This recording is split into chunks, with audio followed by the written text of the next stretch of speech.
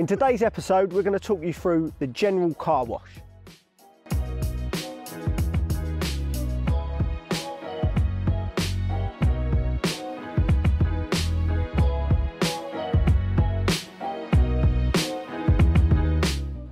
Now there's a few different styles of washing a car. We're just going to talk you through the general maintenance wash in this video. Whenever you're going to wash your car, you always want to start with the wheels. It's a bit of a controversial point because some people do start with the bodywork and then work onto the wheels, but we're under the belief that if you start with the wheels, you're going to get the dirtiest area dealt with first and it avoids you splashing any dirty water from the wheels up the clean bodywork. With the wheels, you'll always start on the face and work your way to the back to try and remove as much grime as possible. Fully covering the wheel to start with with a wheel cleaner if they're in a grubby state like this, jet washing off and then working on with a brush into all of the detail. We also advise the use of wheel woolies or extendable brushes to get into the barrel and the backs of the wheels. It's good practice to keep on top of your wheels, making sure you get behind spokes into lug nuts and also cleaning the calipers at the same point. The next stage of the wash is to attack the grubbier areas of the bodywork before any contact wash. We advise the use of a pre-cleaner such as our Citrus Power for the front end and lower quarters where the car's at its grubbiest. You can also use this in wheel arches, along windscreens, front edges of wing mirrors, and also right up the back of the vehicle if it's a wagon like this one they tend to get quite dirty in those areas. The next stage is probably the most fun stage for everybody, snow foam. Now we always advise the use of a snow foam because the snow foam will dwell on the vehicle, breaking down as much dirt as possible before contact washing. It's important that you remove and break down as much road grime as possible before you actually come into contact with the vehicle. This will minimise swirls, marring and other defects caused at the wash stage working from the top of the vehicle down, fully cover the vehicle in snow foam, and then leave for as long as possible to dwell without drying. It's important that you don't let snow foam dry on the vehicle.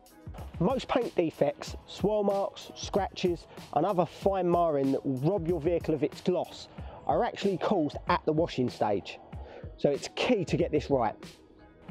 Now, rinsing from top of vehicle down, rinse all of the snow foam off thoroughly working arches, lower areas and under sills to remove all of the loose road grime you can.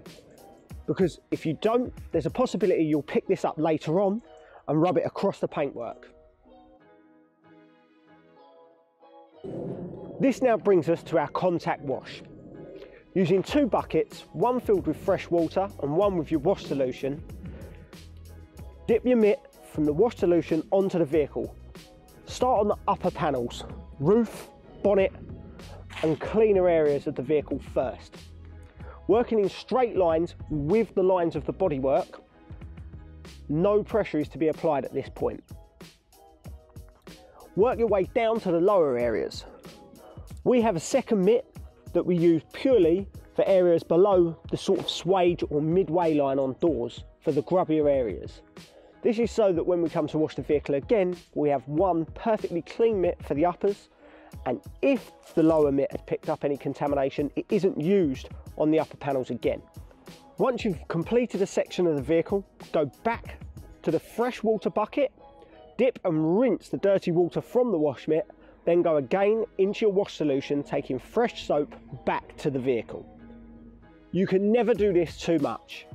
Once you're confident you've cleaned the entire vehicle, from paintwork to glass, ensuring to get under windscreen wipers, into inner arches, under wing mirrors, in door handles, and all the nooks and crannies possible, it's time to rinse the soap from the vehicle. Using your pressure washer or a garden hose, work from the top of the vehicle down, thoroughly rinsing out grills, gaps, and other panel areas that might hold soap later on. This now brings us to our drying stage. Some people like to use what's known as a drying aid. We advise the use of our Finale Quick Detailer for something like this. Just lightly mist across the paintwork while still wet, then go straight on with your drying towel, pat dry or drag dry as appropriate to you. And there you have it, a clean car